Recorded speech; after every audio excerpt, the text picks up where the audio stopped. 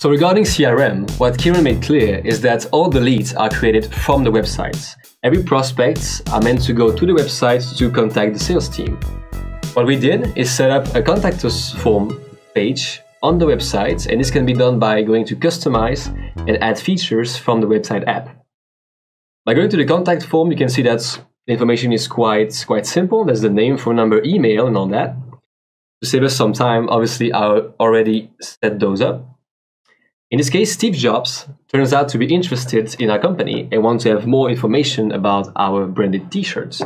And when he's going to submit this form, the sales team will be able, from the same CRM app, to see this new lead, right?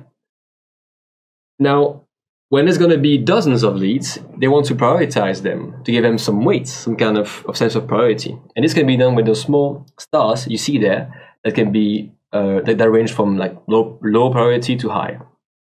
In this case, I'm going to send this one to two, for instance. And when it's going to be many, this one is going to go first. I mean, unless there's some with three stars, obviously. He also wanted to have to improve the follow-up on on the different leads. The sales team tend to schedule calls, meetings, and you want all those to have reminders and some kind of following up, some kind of automation as well, right? This can be done with a scheduled activity from the chatter right there. And to give us some idea, to give you some idea on how far we can go, um, what is possible with those activities, I created two extra ones: a qualification call and follow-up call activity type. And what I told Odoo is that when an activity of qualification call type is marked as done, you write some feedback. And when it's going to mark as done, it's going to schedule the next one, follow-up call, automatically for a week into the future. So if you do that, your sales team is going to have a much easier time following up and sending up reminders because much of those extra following follow-up calls can be automated, right? So now that this, is, that this is covered, we can go to the product configuration. And now let's go to the sales app to see how we configured the product catalog. You can see there are two categories we came up with, the B2B products and the B2C products. Our, own, our only B2B product for now is the custom t-shirt, and if we go to the variants tab, you can see there are three attributes. The size of the t-shirt, its color, and the placement of the logo.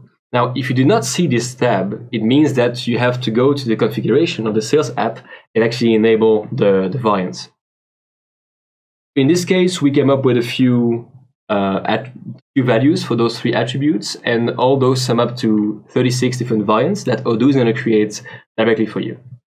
And if I go to the to the cat back to the catalog and take a look at one of my B2C products, for instance, the Coca-Cola T-shirt, you can see it's fairly similar.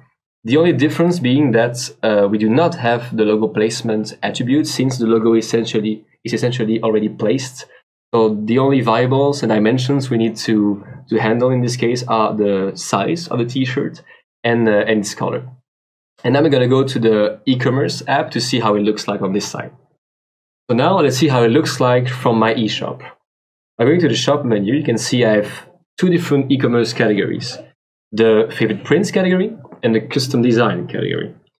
Basically my B2C and B2B products. Let's say I want this Odoo shirt, one of my B2C products. I can choose the size and the color. That's pretty much it. But if I'm a B2B client, I obviously want to give extra information regarding the logo I want on my shirt. I can go to custom design and say my custom t-shirt. I can also choose the size, the color, and on top of this, I can also choose the logo placements. Let's go for the chest in this case, and I want 20 of them. I add this to my cart, and you can see this is a fairly regular checkout process. I go further, and in this case, we have an extra info tab. And this one we added by going to customize and extra step option. And the reason we did that is that for B2B clients, we want to give them the opportunity to give us more information about the design they want and obviously loading the logo they want on their shirt. So in this case, they can write down some reference. All of this is, is mandatory. It's not mandatory. It's, uh, it's up to them if they want to, to input it or not. And I can load my custom design if I already have it. So now the logo is loaded, so I can go further. And this is the end of my checkout process. I can confirm the order. And you can see now the order is submitted. And now we're going to see how it looks like from the sales app. So here you can see the quotation that has been created when I confirm the eShop sale. Now, all the information the client give in the extra info step of the checkout process can be found in the chatter of this quotation, including the logo I need so bad for my process. The salesperson can schedule an activity just like for the leads, such as, such as call, emails, or the qualification and follow-up call uh, activities that we set up earlier. And what's important to note here is that Kieran told us that his goal was to improve visibility and to simplify simplify things. He wants Odoo to make his life simpler, his business simpler. He does not want to complicate, overcomplicate things, which is with things just like stock or inventory management, while he does not care about those, right? So what we did, instead of using the manufacturing app and the inventory app, which require a lot of implementation and knowledge and time, we decided to set up the custom shirt as a service. So I'm going to show you that right now. So as you can see, the custom shirt is set as a service. And since Kieran wants um, the um, wants his employees to record time on the different tasks or on the different tasks they perform, I, I installed Timesheet app, which allows me to, if you go to the sales tab of the product, it allows me to to tell the system to create a task in an existing project when this service is sold. Now, I created a project called manufacturing that we're going to see in a second. And what happens when I sell a custom shirt is that it creates a task for this order with the same name in the manufacturing project. I'm going to show you that right now. So let's say I confirm it. And now you can see that I have a task that has been created.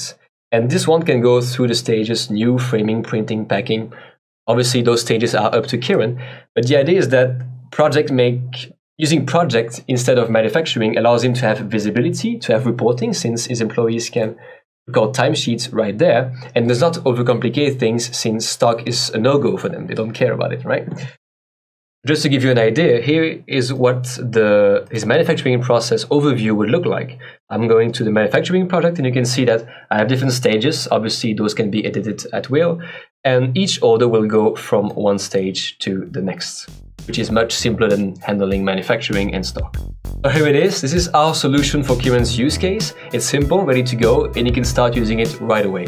How did you solve Kieran's use case? Please feel free to share your own solution with us, and thank you for watching.